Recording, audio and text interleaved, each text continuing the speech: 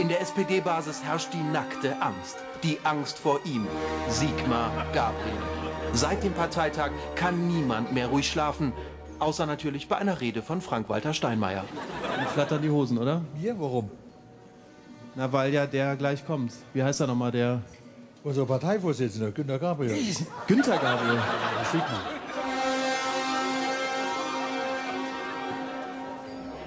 Huh. Sind Sie für oder gegen die Große Koalition? Dagegen. Was? Nicht so laut, das dürfen Sie nicht so laut sagen. So Mensch. laut, ich, deswegen bin ich hier. Er stimmt für die Große Koalition. Sind Sie für Rot-Rot-Grün? Nein, Dann sind Sie also dagegen, dass Gabriel Bundeskanzler wird. Nein. Wenn wir Neuwahlen provozieren, ist die SPD tot.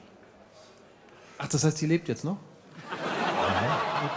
Wissen Sie was? Was denn? Ich habe Arsch in der Hose. Ja, dann, dann können Sie in der SPD aber nichts werden. gegen die Große Koalition. Ich bin gegen die Große Koalition. Was? Doch, ich bin hart. Warum? Warum? Weil ich mit Merkel keine Koalition haben will. Und du auch nicht. Muss, die, äh, muss äh, Angela Merkel eigentlich auch Maut zahlen, weil die auch Migrationshintergrund hat? Also hören Sie mal, das finde ich ja ein bisschen abartig. Wieso hat die Migrationshintergrund? Ossi. Ja, nee, das ist ja dummer Quatsch. Ist das dumme Quatsch? Das ist dummer Ehrlich? Quatsch. Ja, ja, Also wissen Sie, das muss nicht sein. Entweder stellen Sie mir seriöse Fragen oder wir lassen es sein. Und mit Sigmar Gabriel haben wir, glaube ich, einen Vorsitzenden, der äh, es möglich macht, die Partei wieder nach oben zu führen. Kommen Sie. Oh nein, das war ein Witz, oder? Er hat mich verarscht. Er hat mich verarscht. Weniger ist noch mehr als nichts. Ein schöner Slogan für die SPD. Weniger ist noch mehr als nichts. Eine letzte Frage. Sigmar Gabriel als Vizekanzler, glauben Sie, dass er die Fußstapfen von Philipp Rösler würdig ausfüllen kann? Hundertprozentig. Da, der kommt, der kommt da hinten. Komm.